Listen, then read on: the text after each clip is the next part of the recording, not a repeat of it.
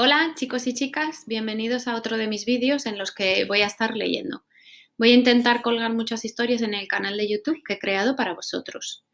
Eh, no tengo muchos cuentos en casa, pero todos los que tengas los voy a ir leyendo y como sabéis las bibliotecas están cerradas así que no puedo sacar más libros, pero poco a poco iré colgando todo lo que pueda. El cuento de hoy es el cuento de un ilustrador que es uno de mis ilustradores favoritos. Se llama Quentin Blake. Eh, ¿Quién se acuerda que era un ilustrador? Un ilustrador es la persona que hace los dibujos de los cuentos, los ilustra. En este caso, este ilustrador ha hecho muchos dibujos para cuentos de un escritor muy famoso que se llama Roald Dahl. Y, Roald Dahl ha hecho los cuentos de Charlie y la fábrica de chocolate y Matilda, que seguro que habéis visto las películas. Dentro de unos años podréis ver, eh, podréis leer también los, sus eh, cuentos. Son un poco largos, entonces ahora todavía no podéis, pero a lo mejor podéis pedir a papá o a mamá que os lean alguno o algún trozo. Bueno, os voy a enseñar el cuento de hoy. El cuento de hoy eh, se llama Mr. Magnolia y es un cuento también muy especial porque Quentin Blake aquí no solo es el, el ilustrador, sino que también es el escritor. Es decir, que ha hecho los dibujos y ha hecho las palabras. ¿Ok?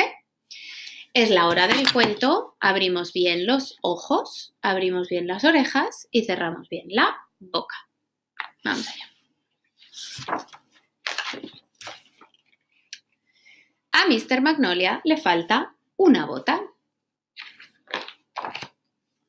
Tiene una trompeta que siempre está rota. Y dos primas flautistas que dan bien la nota. Pero a Mr. Magnolia le falta una bota.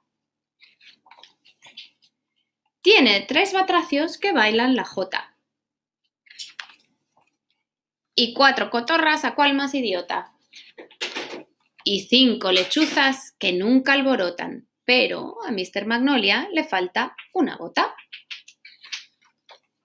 Tiene seis amigos con muy buenas notas. Y siete que quieren saber qué tal flota, pero a Mr. Magnolia le falta una bota. Escoge ocho frutas para la compota. Y a nueve valientes para darle escolta. Mirad todos los valientes aquí abajo. Y un postre en diez platos para su mascota. Pero a Mr. Magnolia, ay, qué pena, a Mr. Magnolia le falta una bota. Espera. Un momento. ¡Ah! ¡Qué bien! ¡Qué grandota! Sorpresa, sorpresa, ya tiene su bota. ¡Vivan las dos botas de Mr. Magnolia! Ya puede dormirse como una marmota. ¡Hasta mañana! Y colorín colorado, este cuento se ha acabado. Bueno, en este cuento pasan dos cosas especiales que quiero que os fijéis. La primera es que es un cuento que rima y la segunda es que es un cuento que tiene números.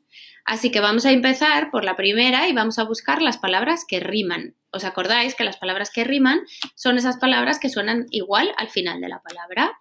Por ejemplo, bota rima con casi todas las palabras que salen al final de las frases. Aquí sale bota. Y vamos a buscar qué rima con bota. Rota, nota, bota otra vez, jota, que es lo que están bailando estas ranas, o batracios, como lo llaman en el cuento, idiota, que son las cotorras, bota otra vez, y alborotan las lechuzas. Notas, flota, compota, escolta, mascota, bota otra vez, grandota, bota,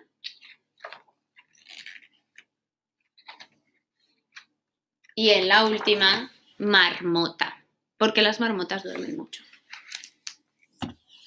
Podéis intentar también buscar palabras que rimen entre vosotros, ¿ok?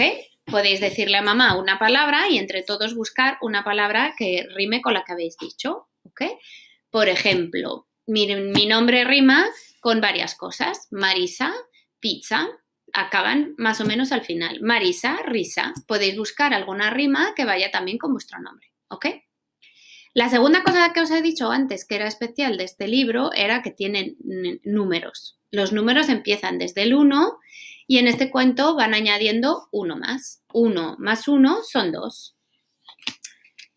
Empezaba por el 1, ¿verdad? Y si le añado 1 a este 1, se convierte en el 2. 2 más 1, 3. 3 más 1, 4. 4 más 1, 5. 5 más 1, 6.